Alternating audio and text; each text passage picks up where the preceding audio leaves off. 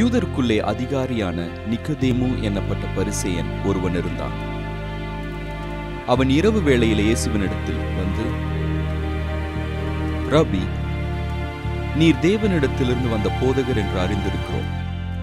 ஏனெனில் ஒருவனும் தன்னுடனே தேவன் இராவிட்டால் நீ செய்கிற இப்படிப்பட்ட அற்புதங்களை செய்ய முடியாது என்றான். இயேசு அவனுக்கு மறுமொழியாக ஒருவன் மறுபடியும் பிறவாவிட்டால் தேவனுடைய அரசை காணமாட்டான் என்று மெய்யாகவே மெய்யாகவே உனக்கு சொல்லுகிறேன் என்று அறிவித்தார் அதற்கு நிக்கதேமு ஒரு மனிதன் முதிர் வயதாய் இருக்கும் பொழுது எப்படி பிறப்பான்? அவன் தன் தாயின் கர்ப்பத்தில் இரண்டாவது முறையாக நுழைந்து பிறக்கக்கூடுமோ? என்றான். இயேசு மறுமொழியாக ஒருவன் தண்ணீரினாலும் ஆவியினாலும் பிறவாவிட்டால் தேவனுடைய அரசில் நுழைய மாட்டான் என்று மெய்யாகவே மெய்யாகவே உனக்கு சொல்லுகிறேன்.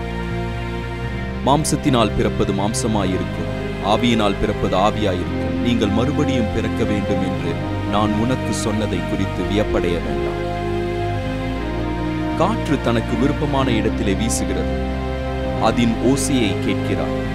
என்றாலும் அது எந்த இடத்திலிருந்து வருகிறதென்றும் எந்த இடத்திற்கு போகிறதென்றும் உன்னால் கூற முடியாது. ஆவியினால் பிறந்தவனவனோ அவனும் அப்படியே இருக்கிறான் என்றான்.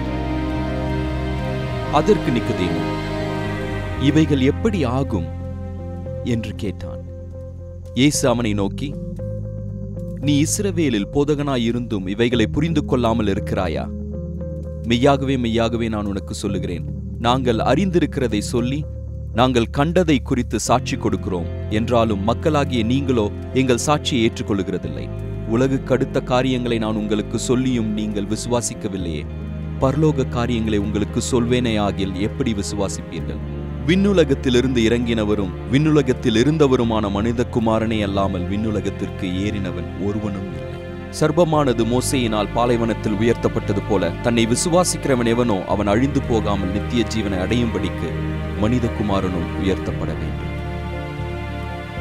தேவன் தம்முடைய ஒரே பேரான குமாரனை விசுவாசிக்கிறவன் எவனோ அவன் அழிந்து போகாமல் நித்திய வாழ்வை அடையும்படிக்கு அவரை தந்தருளி இவ்வளவாய் உலகத்தில் அன்பு கூர்ந்தார் உலகத்தை தண்டனைக்குள்ளாக தீர்க்கும்படிக்கு தேவன் தம்முடைய குமாரனை உலகத்தில் அனுப்பாமல் அவராலே உலகம் ரட்சிக்கப்படும்படிக்கு